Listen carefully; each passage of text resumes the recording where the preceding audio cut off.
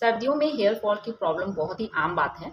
ज़्यादातर लोग हैं जिनके की बाल झड़ते हैं सर्दियों में क्योंकि मौसम का जो भी इफ़ेक्ट है ना, वो हमारे स्किन पर, हमारे बालों पर ज़रूर पड़ता है। लेकिन अगर किसी के बाल नहीं झड़ रहे तो वो अपने आप को बहुत ज़्यादा लकी समझे। और इस बार मेरे साथ ऐसा हुआ है कि मुझे एक्सट्रीम हेयर फॉल हुए हैं मीन्स की अभी भी मेरे हेयर फॉल की जो प्रॉब्लम है, वो पूरी तरह से बंद नहीं हुआ है। लेकिन उसके लिए मैंने क्या कर रही हूँ, वो मैं आपके साथ डिस्कस करती हूँ। और ये जो वीडियो है ना, ये इसका जो फाइनल रिज़ल्ट है, वो अभी नहीं, वो वन मंथ के बाद मिलने वाला है। क्योंकि ये जो वीडियो है, अभी मैं ये स्टार्टिंग के वन वीक जो भी प्रोसेस मैं कंटिन्यू कर रही हूँ, उसके साथ मैं अभी ये वीडियो शूट कर रही हूँ और उसके बाद इसका जो फाइनल रिज़ल्ट होगा, ये मैं वन मंथ के बाद आपके साथ अपना एक्सपीरियंस शेयर करूँगी कि एक्चुअली में मुझे उससे कुछ फ़ायदा हुआ या नहीं। और अगर आपको भी बहुत ज़्यादा एक्सट्रीम हेयर फॉल हो रहे हैं तो आप उसमें ये सब रेमेडी ट्राई कर सकते हैं कि नहीं, आपको ये फ़ायदेमंद होगी कि नहीं। तो ये वीडियो तो आप देख लीजिए, लेकिन इसके साथ ही आपको जो नेक्स्ट वीडियो में जितने भी वीडियो दिखाऊँगी ना, उसमें ज़्यादातर वीडियोज़ मेरे हेयर फॉल को ही लेके होंगे। तो प्लीज़ आप लोग सारी वीडियोज़ देखिएगा, ताकि अगर आपको भी हेयर फॉल हो रही है तो इसमें ये बहुत ज़्यादा हेल्पफुल होगी। हेलो एवरीवन मैं हूँ गुड्डी और आप देख रहे हैं गुड्डीश फ़ैशन एंड ब्यूटी और मेरी आज की वीडियो में मैं लेकर आई हूँ एक्सट्रीम हेयर फॉल में आप क्या कर सकते हैं और ये डे वन से अपना एक्सपीरियंस में ऐसे तो मैं वन वीक ये रेमेडी जो है वो ट्राई कर ली हूँ और अभी कंटिन्यू इसको मैं वन मंथ रखूँगी, लेकिन ये वीडियो के रूप में मेरा ये फ़र्स्ट वीडियो है कि किस तरह से एक्सट्रीम हेयर फॉल को रोके और अगर वीडियो पसंद आती है तो वीडियो को लाइक करें चैनल को सब्सक्राइब करें, अपने फ्रेंड्स के साथ शेयर करें और बेल आइकन को प्रेस करना बिल्कुल नहीं भूलें ताकि मेरी हर वीडियो की नोटिफिकेशन आपको मिलती रहे। तो चलिए हम लोग वीडियो में आगे बढ़ते हैं और सबसे पहले जानते हैं कि मुझे एक्सट्रीम हेयरफॉल क्यों हो रहे हैं। देखिए, सबसे पहले तो जैसा कि मैंने कहा कि जो मौसम का इफ़ेक्ट है ना, वो हमारे स्किन पर, हमारे बालों पर, सर्दियों में खासकर बहुत ज़्यादा पड़ती है। और क्योंकि हम सर्दियों में पानी भी कम पीते हैं, इसके कारण भी ऐसा होता है कि जो हमें हेयर फॉल की प्रॉब्लम होती है। और बाकी पता नहीं, शायद हो सकता है कुछ ऐसा, जैसे कि हम तो वेजिटेरियन है तो हो सकता है ऐसे कुछ शरीर में कमी हो जाती होगी, जिसके कारण की हेयर फॉल होते होंगे। फ़िलहाल अभी हम लोग वीडियो में आगे बढ़ते हैं और देखते हैं कि किस तरह से मैं अपने हेयर फॉल के लिए जो ट्रीटमेंट ले रही हूँ। ऐसे तो देखिए मैं एक होम रेमेडी भी ट्राई कर रही हूँ और क्या क्या ट्राई कर रही हूँ वो भी वीडियो के में बताती ही जाऊँगी। लेकिन फ़िलहाल अभी मैं अपने मायके गई थी तो वहाँ पर भी क्योंकि मुझे बहुत ज़्यादा एक्सट्रीम ईयरफुल हो रहे थे तो मैं गई सोची कि मुझे वहाँ गई ही तो वहाँ पर एक मेरे परिचित डॉक्टर है जो कि बहुत ही अच्छा उनसे एक बार मैंने ट्रीटमेंट लिया था बहुत ही अच्छा मुझे रिज़ल्ट मिला था। इस बार मैं फिर से उनके पास गई और मुझे उन्होंने कौन कौन से मेडिसिन प्रेस्क्राइब किए हैं वो मैं आपके साथ शेयर करना चाहती हूँ। सबसे पहले तो देखिए ये है एनाश्योर का ये है आ, सीरम है जिसको कि बस इस तरह तरह से खोल कर और इसमें एक ये भी दिया हुआ था, ट्यूब दिया हुआ था, जिससे कि लगाना था, लेकिन मैंने उसे फेंक दिया और मुझे ये इस तरह से ईजी लग रहा है। तो मैं इसको जस्ट इस तरह से लेके और इस तरह से जहाँ भी मुझे मतलब लगता है कि नहीं, पूरे सब तरफ़ इस तरह से लगा के और अपने हाथों से मैं इसको इक्वली इस तरह से स्कैल्प में मसाज कर देती हूँ, ठीक है? अभी मेरे बाल बिगड़ जाएँगे, इसलिए मैं अभी करके नहीं दिखा रही हूँ। उसके बाद क्योंकि देखिए, ये तो हो गया एक्सटर्नली कि हमें बालों में क्या लगाना है, ठीक? उसके बाद यह इंटरनली कि हमें एक्चुअली में क्या, अंदर से अपने शरीर को क्या क्या देना है, जिससे कि हमारी जो हेयर फॉल की प्रॉब्लम है वो रुक जाएगी। तो ये कौन सा मेडिसिन है वो भी मैं बता देती हूँ। देखिए, ये है calcium carbonate with vitamin D three tablet आई ठीक? ये मतलब विटामिन जो हमारे शरीर में जितने भी विटामिन की कमी हो जाती है, जिसके कारण की हेयर फॉल होते हैं तो उसके लिए उन्होंने मुझे ये ओरल सप्लीमेंट दिया है। और इसके साथ ही ये कैल्शियम का है और ये है आयरन का, ये आयरन का है।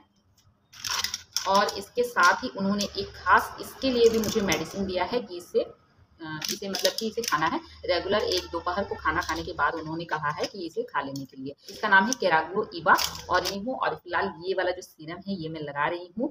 और इससे पहले जब मैंने दिखाया था तो वो भी मैंने आपके साथ शेयर किया था टैबलेट लिखा था और साथ ही साथ कैग्रो का सीरम भी लिखा था जिसको कि मैं लगा रही थी और उससे मुझे बहुत ही ज़्यादा फ़ायदा हुआ था और साथ ही साथ उस समय भी कैल्शियम और आयरन का टैबलेट उन्होंने मुझे दिया था जो भी मैं खाई थी और मेरा जो हेयर फॉल है उस समय रुक गया था और न्यू हेयर भी आए थे। लेकिन इसको देखिए ऐसा नहीं है कि आपके जो हेयर लॉस हो रहे हैं या फिर आपके बाल गिर रहे हैं ना तो ये नहीं कि आपने इसे खाया और कोई मैजिक हो जाएगा, ऐसा कुछ नहीं होता है। इसके साथ साथ ही आपको बहुत सारे इंस्ट्रक्शन को फॉलो करना है, जैसे कि आपको सबसे पहले तो स्ट्रेस नहीं लेना है। डॉक्टर ने मुझे एक ही बात कही कि आपको स्ट्रेस नहीं लेना है कि मेरे बाल गिर रहे हैं। अगर आप स्ट्रेस लेंगे तो आपके बाल और ज़्यादा गिरेंगे प्रॉब्लम और ज़्यादा बढ़ेगी। तो आपको स्ट्रेस सबसे पहले तो नहीं लेना है, बिल्कुल टेंशन फ्री और अपने आप को खुश रखने की कोशिश करिए।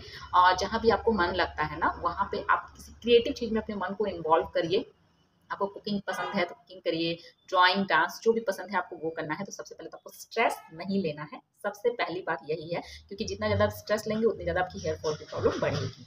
और इसके साथ ही साथ मैंने और क्या किया वो मैं बताती हूँ। इसके साथ ही मैं और भी कुछ ऐसी सामग्रियाँ हैं जो कि मैं लेकर आई हूँ अपने मायके से। क्योंकि यहाँ मैं ज़्यादा निकलती नहीं हूँ तो यहाँ पर क्या कहाँ मिलता है मुझे अभी तक कुछ समझ में नहीं आता है। तो वहाँ से ही मैं लेकर आई हूँ और उसके साथ ही मैंने इसे जो एक सीरम कह सकते हैं आप, एक जेल है जिसको कि मैं बनाई हूँ और अपने बालों पर लगाई हूँ और उसका रिज़ल्ट देख सकते हैं आप, ठीक है? तो इसे मैंने किस तरह से बनाया, किस तरह से लगाया, इसको भी साथ ही साथ मैं खा रही हूँ। तो अगर आप ऐसा सोचते हैं कि आपको बहुत ज़्यादा एक्सट्रीम हेयरफुल हो रहे हैं और आप कोई होम रेमेडी से उसको ठीक कर लेंगे तो हो जाता है, लेकिन अगर आपको बहुत एक्सट्रीम हो रहे हैं और हेयरफुल बिल्कुल नहीं रुक रहे ना तो मैं तो आपको यही एडवाइस करूँगी कि आप किसी अच्छे डॉक्टर से मिले और उनको अपनी जो भी प्रॉब्लम है वो बताएँ। उसके हिसाब से वो जो भी सप्लीमेंट देते हैं, आपको वो भी लेना है। और साथ ही साथ मैंने और क्या अपने बालों पर ट्राई किया है, ये आगे की वीडियो में आप देख सकते हैं, इसके जो भी फ़ायदे हैं साथ ही साथ मैं बताती जाऊँगी।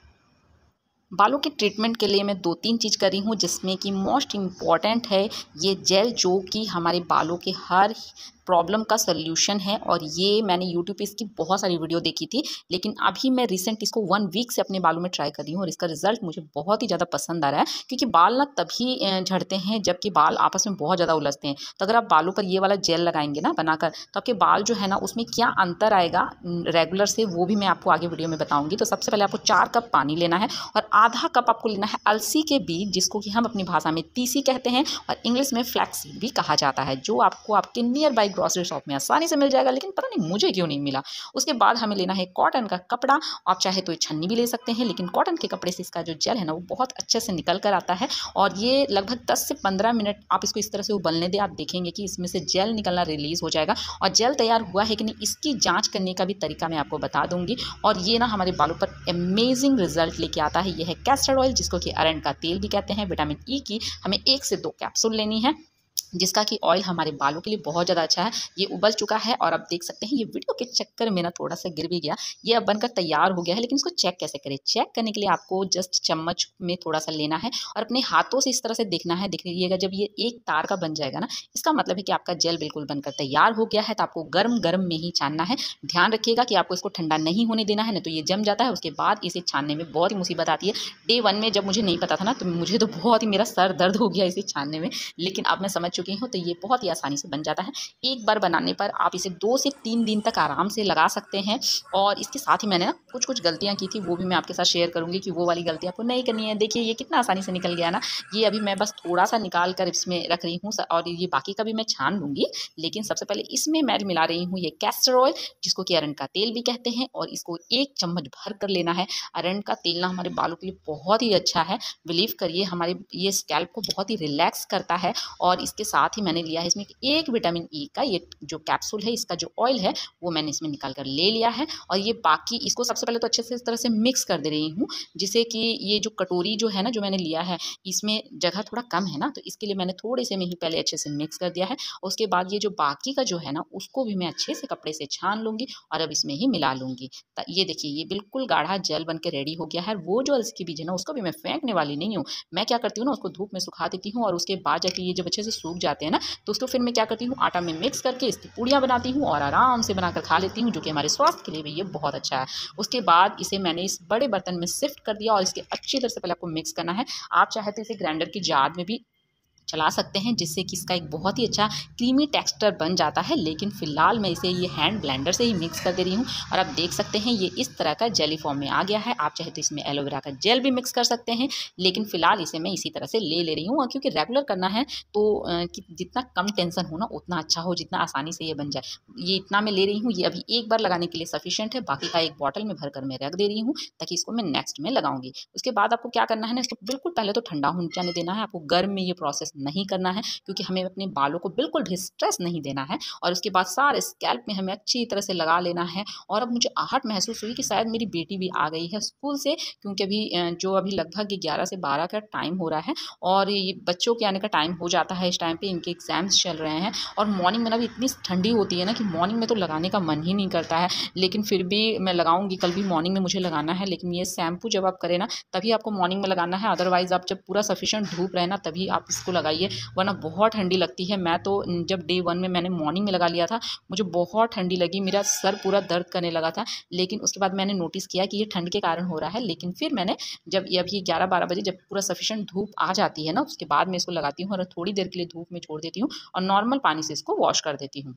लेकिन अभी मैं फ़िलहाल इसको अच्छे से लगा लेती हूँ अपने बालों पर और आप देख सकते हैं कि मेरे पूरे बालों पर ये लग चुका है और बस एक टाइट बन बनाकर मैं इसको छोड़ दे रही हूँ और इसको लगभग मैं इसी तरह से एक घंटे तक के लिए लगे रहने दूँगी और हल्के धूप में मैं तो जाकर बैठ जाने वाली हूँ क्योंकि इसको लगाने के बाद ठंडी भी लगती है और अभी बहुत ज़्यादा जो ठंड का मौसम है ना बहुत ज़्यादा बढ़ गया है। तो उसके बाद ये एक घंटे के बाद मैं नॉर्मल वॉश कर चुकी हूँ और आप देख सकते हैं ये बालों में ना आपको एक सॉफ्टनेस महसूस हो रहा होगा। ये नेक्स्ट मॉर्निंग की वीडियो है जो कि आज मैं शैम्पू करने वाली हूँ। तो ये लगभग नहाने के एक घंटे पहले मैं अच्छी तरह से इसको लगा ले रही हूँ। यही जेल जो बच गया था ना, इसको मैं लगा ले रही हूँ और इसके बाद मैं इसको अच्छी तरह से अपने स्कैल्प में मसाज दे दूँगी, जिससे कि ये अच्छी तरह से चारों ओर इवनली लग जाए। और जो हम मेरे बाल हैं ना, उस वो देखिएगा आप इसमें जो मैजिक होगा ना, अब देखिए मेरे बाल कितने ज़्यादा रफ और बहुत ज़्यादा उलझे हुए दिख रहे हैं, लेकिन इसमें क्या बदलाव आया ना, वो मैं आपको बताती हूँ। जो मेरा अपना सेल्फ एक्सपीरियंस हुआ है, जब आप इस जेल को बना के लगाएँगे ना तो आप खुद ही बोलेंगे कि हाँ मैं जितनी भी बातें कह रही हूँ ना, वो बिल्कुल हंड्रेड परसेंट सच है, क्योंकि ये जितने भी अभी बातें मैं कह रही हूँ ना, ये मैं अपने सेल्फ एक्सपीरियंस से कह रही हूँ कि मेरे साथ ऐसा ऐसा हुआ। इसको लगाने के बाद मुझे ये बदलाव महसूस हुआ। मेरे बालों में ये देखिए जो भी आपको यूट्यूब पर जो वीडियो बनाते हैं, बताते हैं ना, वो लोग बता देते हैं, लेकिन वो खुद उस रेमेडी को कितनी बार ट्राई करते होंगे, पहले आप ये सोचिएगा। लेकिन मैं जितने भी रेमेडी बताती हूँ ना, सबसे पहले तो मैं लगभग पाँच से दस बार उसको खुद ही लगा कर देखती हूँ। जब मुझे फ़ायदेमंद लगता है, तभी मैं उसका एक्सपीरियंस आपके साथ शेयर करती हूँ। अदरवाइज़ मैं उस टॉपिक पे वीडियो बनाती ही नहीं हूँ, क्योंकि मेरे जितने भी व्यूअर्स हैं ना, उसको मैं मिसगाइड नहीं करना चाहती हूँ। और आप देख सकते हैं कि मैं अच्छी तरह से इसको लगा चुकी हूँ। और ये वॉश करने के बाद जब मेरे बाल अच्छी तरह से सूख गए थे ना तो देखिए मेरे बालों में एक फ्लपीनेस एक चमक एक शाइन आपको दिख रही होगी। और हाँ मैंने जो कहा था ना कि इसको लगाने के बाद क्या क्या आपको फील होगा सबसे पहले तो आ, मैं जो भी शैम्पू यूज़ करती हूँ ना जब मैं उसको लगाती थी ना क्योंकि मैंने शैम्पू के पहले मैं अच्छे से बालों में ना ऑयल का मसाज देती हूँ तो बालों में ना झाग ही नहीं बनता था ठीक है? दो से तीन बार शैम्पू लगाती थी तब झाग बनता था लेकिन इसमें ये मैजिक हुआ ना जैसे ही मैंने शैम्पू लिया और लगाया इतना अच्छा झाग बना इतना अच्छा मेरे बाल जो एक बार में ही अच्छी तरह से साफ़ साफ़ हो गए और उसके बाद जब मैं बालों को कम, कंघी कर रही थी ना, ये बिल्कुल भी आपस में नहीं उलझे और जिसके कारण की हेयर फॉल भी थोड़ा सा कम हुआ रेगुलर से। और आप देख सकते हैं, बाल बहुत ही ज़्यादा चमकदार है। आप भी ये रेमेडी ज़रूर ट्राई करिए और अपना एक्सपीरियंस मेरे साथ शेयर करिए। Bye bye